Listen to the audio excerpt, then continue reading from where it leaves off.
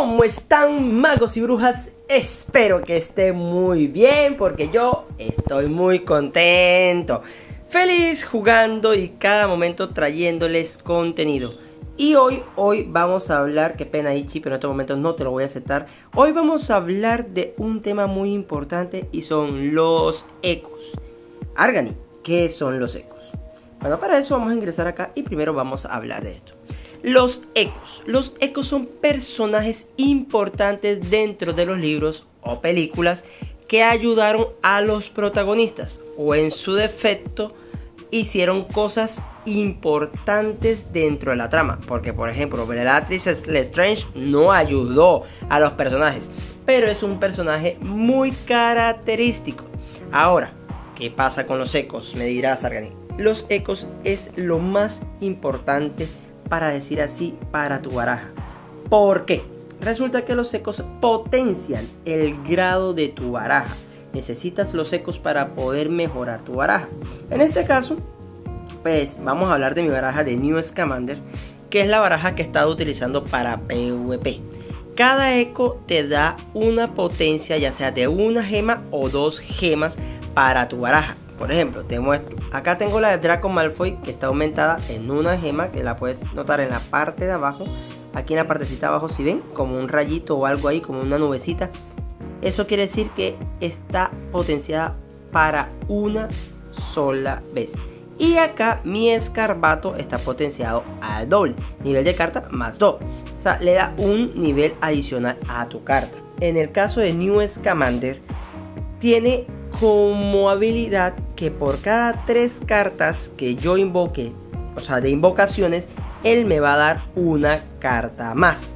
¿Ok? ¿Queda claro? Este es el caso de New Scamander. Listo, vámonos en orden entonces ahora a hablar de los ecos.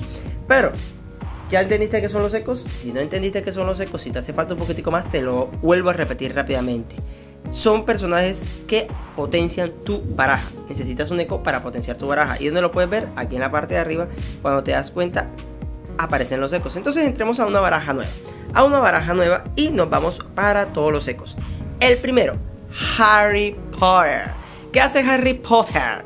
Es un, un auror con amplia experiencia en combate. No tendrás problemas en mejorar los efectos de los hechizos más simples que hace Harry Potter. Con todas las cartas que son de nivel 2, 3, 1, 0, las potencia y hacen que pegue mucho más fuerte. Voy a hablar rápidamente de lo que son ellos.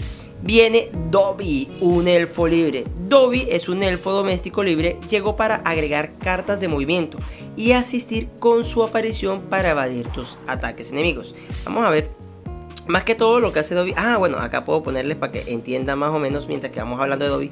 Dobby lo que hace es que por cada dos movimientos, a tu segundo movimiento, lo que hace es que se, te se teletransporta y deja un elfo como, como que queda ahí de aparición y te va, te va ayudando a sustituir. Vamos a poner la de Harry, ya que no habíamos visto la de Harry, para que la vean mucho mejor. Entonces, todas las cartas de nivel bajo se potencian mucho más gracias al efecto de Harry. Listo, dos o tres puntos de movimiento.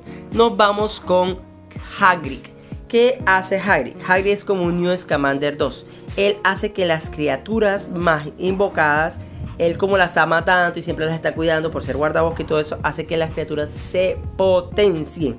Todo esto lo puedes leer aquí en las invocaciones, el 32%, y eso es algo con más profundidad, pero ahora quiero, estoy hablando específicamente de los ecos.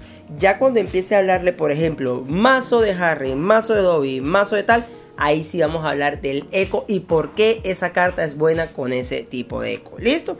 Aquí estamos pasando por encima. Entonces nos vamos con los hermanos Weasley, que en el momento no tengo ni una sola morada de ellos. Fred y George son gemelos imparables, saben lo que más valioso del mundo que es la familia y los amigos. ¿Qué hacen ellos? La salud de tus cartas de acompañantes se reducirá en un 10%.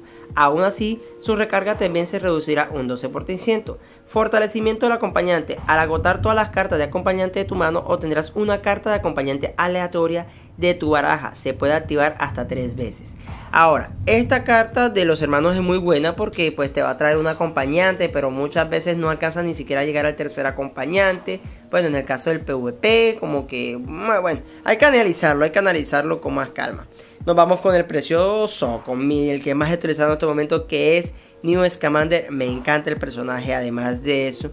Y lo de invocar, porque siempre me invoca una carta de nivel 3, o sea, una carta como de nivel 5 por un solo punto de movimiento. Créame que hace mucha ayuda y más cuando tienes el Fantastic Bomb. Bueno, esas son otras cosas. Es que lo he utilizado bastante. Nos vamos con el profesor Snape. El profesor Pociones de Snape mejorará los ataques básicos y lanza el Septum Sempra a los enemigos con más frecuencia. Mejora el ataque en un 45% y el Septum Sempra reemplaza el segundo de cada dos ataques básicos por Septum Sempra.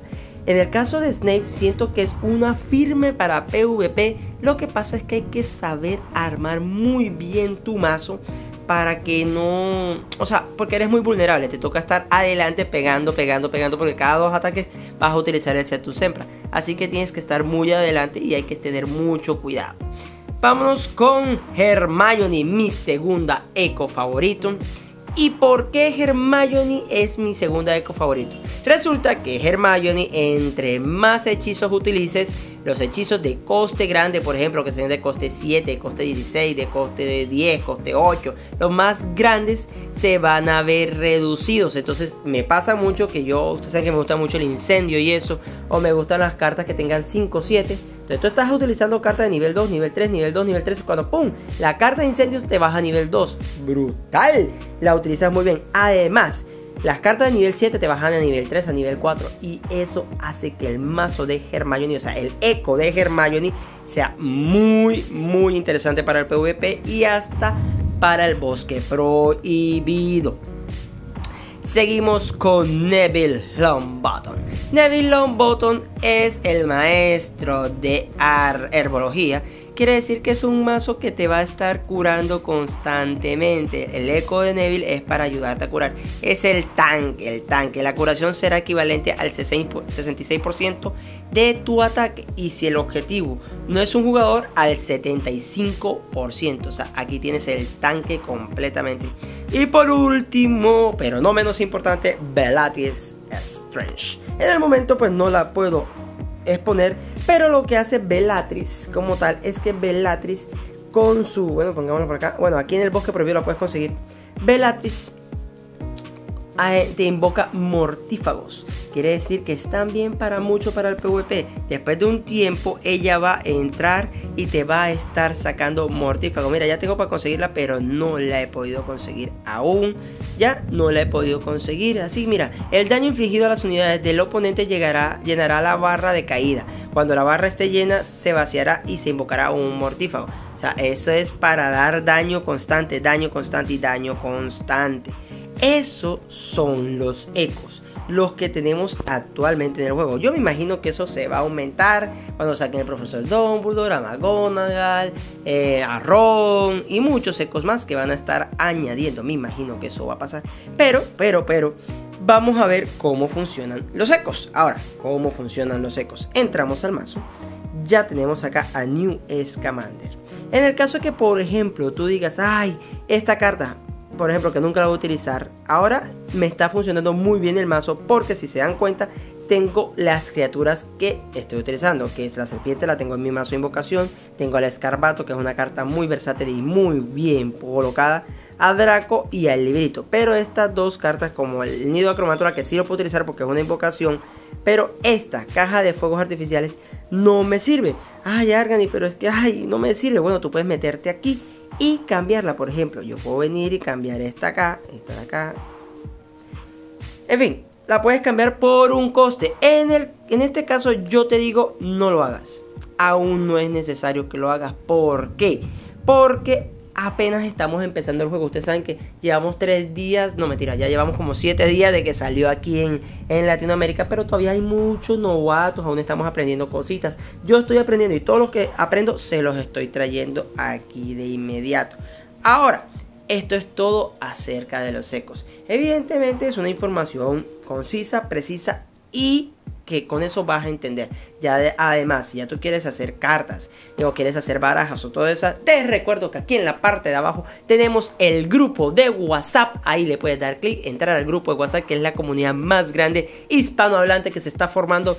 Y además También tenemos el, grupo de Discord. Allá no es que hablemos mucho, más hablamos por el grupo de WhatsApp. Ahí te puedes enterar de las barajas que estamos haciendo todos como juntos. Además, todo lo que estamos haciendo en el club de magia y lo que estamos organizando en estos momentos.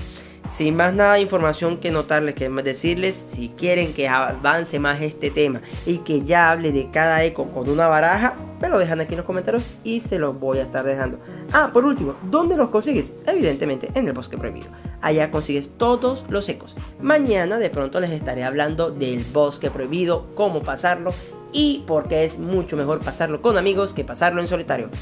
Aquí se los dejo y hasta la próxima, arganianos.